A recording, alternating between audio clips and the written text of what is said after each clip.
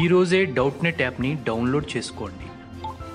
Doubt net మీ ఆరో తరగతి నుండి పన్నెండవ తరగతి వరకు గణితం భౌతిక శాస్త్రం రసాయన శాస్త్రం మరియు జీవశాస్త్రం సంబంధించిన అన్ని సందేహాలను కలిగి ఉంటుంది. వాటి సొల్యూషన్ని తెలుగులో చూడవచ్చు. మీ ప్రశ్న యొక్క ఫోటోని క్లిక్ చేయండి క్రాప్ చేయండి మరియు తక్షణ వీడియో సొల్యూషన్ని పొందండి. ఇలాంటి మరిన్ని వీడియోలను చూడటానికి మా Doubtnut Telugu YouTube channel subscribe అవ్వండి. Hi friends, if the sum of first 7 terms of an AP is 49 and 17 terms is 289, find the sum of n terms. ఏమంటుందంటే ఫస్ట్ సెవెన్ టర్మ్స్ యాడ్ చేస్తే forty nine అంట ఇంకోటి first seventeen terms ఆ సిరీస్లో add చేస్తే two eighty nine అంటే two eighty nine అంట so S seven is forty nine ఇంకోటి ఎస్ సెవెంటీన్ ఏమో టూ ఎయిటీ నైన్ సో అది రాసుకున్న S seven is forty nine S seventeen is two eighty nine మనకి ఇది ఏపీలో ఉన్న వాడే చెప్పాడు సో ఏపీలో ఏంటి sum to sum to n terms sum of n terms in AP ఏంటి నార్మల్గా S n is equal to n by two into two a plus n minus one into d కదా సో ఇది పెడదాం ఇక్కడ N ప్లస్లో seventeen n plus seven first so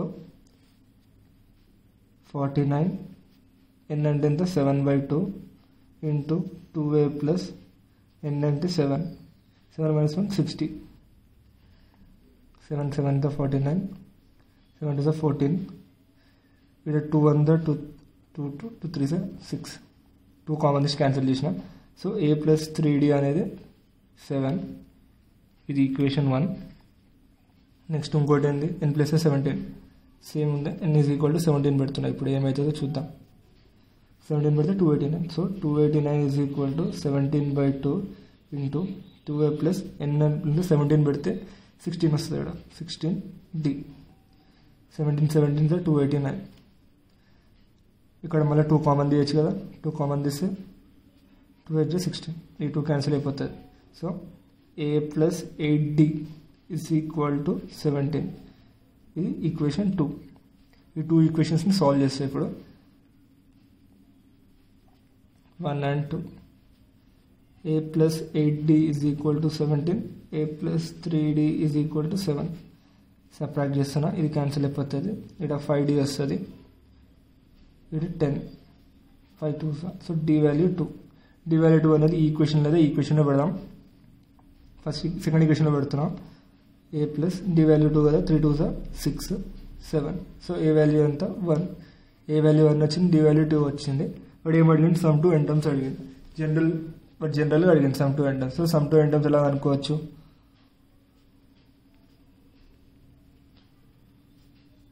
S N is equal to N by two into two A plus N minus one into D कदा general N by two into two A value one plus N value N D value two N by two into two plus two N minus two two two cancel N by two into two N two two Malla cancel mill N square n into one n square ఇది sum to n terms S n value